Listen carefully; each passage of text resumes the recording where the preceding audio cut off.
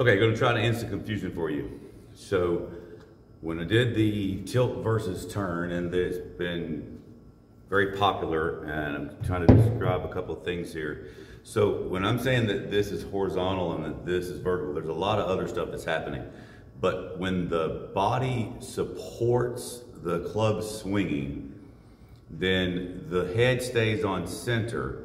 And the only way the head can stay on center is that the right leg has to straighten. If you keep your leg bent, then this part of the torso will turn and you'll see how my head moves off the ball. Now, doesn't mean that you can't do this because you can move off the ball. Here, leg is flexed and this is what people are crying about, is that that's turned, right? And then, but I have to somehow get my head back on center. So I'll either slide, turn, block, and push through, right?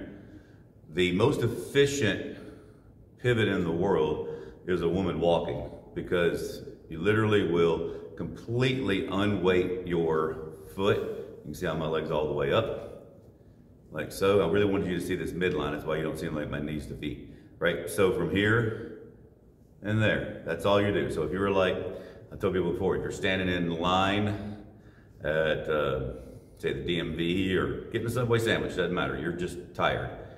You're gonna rest. When you rest, all your weight goes on that leg. You can pick your whole leg up. That's when you then swing the arms and the hands and the club goes over the shoulder. Okay? So there's all my weight on the right. Now over here, then the weight is on the left. Now I teach people how to roll their ankles to do that, or to move your pelvis up and down. But if you just kept your head still and swung the weight, you'd see how my pelvis goes up and pelvis goes up. The legs straighten. See, when you put pressure into the ground, you're gonna put pressure into the ground, you're gonna put pressure into the ground kind of at this angle. So what that's gonna do is then that's going to make this go this way. And that's going to keep your head on center. So there is absolutely, there's all the different forces. There's the horizontal, there's the torque, and there's the vertical. But if you make a walking motion, you'll do all three of those things without having to think about it. Now, reason why it's critical for me to put eyeballs on you is because I literally have no idea if you are someone that literally takes their head off the ball. And so head's over here and ass is over here. Or if you do tilt and think you're tilting and whatnot, but your head's over here, right? Or any of these joints with the golf club is not swinging, see? So if I take the club back for any length of time in a straight line, you'll see that my head has to move off the ball, right? So this is an attached end, this is a detached end. So when you do this, that's how you create a circle. Here we go. So if I sit there and say, okay, I've got the, I've got this pivot going, this is good, but my wrists are not in the right spot, and you swing back, your wrists will look like that. So you have 12 joints. So all 12 have to move. So if you can maximize just the six and just do this, see, I'm not, I don't have any pelvis going up or down, and I'm just making a little semicircle.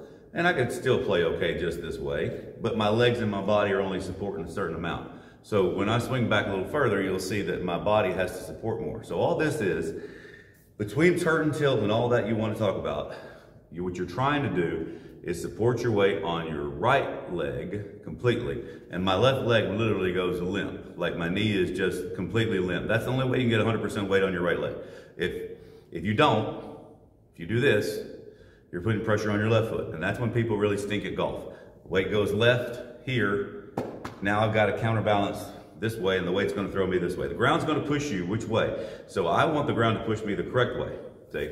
So all you're doing is having a post here on the right while the club swings this way, having a post here on the left while the club swings that way. That's all we're doing, just like that. You do not have to try to skip the rock, like that. You do not have to try to do any of those kinds of things. Does it mean that that doesn't work for a lot of people? It absolutely does. And there's all so many different variations, way more than I want to talk about on the video. That's why it's super important to either come see me in Hendersonville, Tennessee, get in line, get a golf lesson, and Zoom. I'm available, and I look forward to seeing you and helping you with your golf swing and trying to end all this confusion so you guys get better.